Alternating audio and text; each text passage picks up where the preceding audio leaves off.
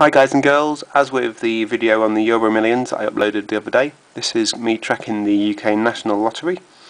So this is my ticket for Saturday the 28th of December, which was yesterday, my UK Lotto ticket.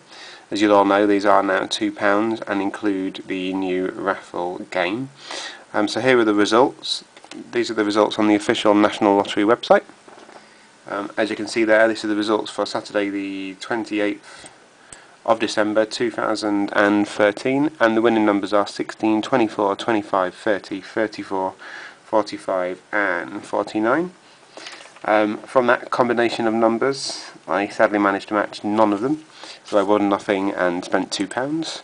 Onto the raffle, as you can see here hopefully there's 150 prizes of £20,000 my combination was one of these blue ones. Sadly not one of the blue ones listed. It just started with blue and then I had a 950 so as you can see the nearest one was this one here which is a 959 um, so I was nowhere close to winning £20,000 so this is draw number one of my national lottery tracking based on this one here, Saturday the 28th of December 2013 um, the results are taken from the National Lottery website which hopefully you'll be able to see um, in a minute.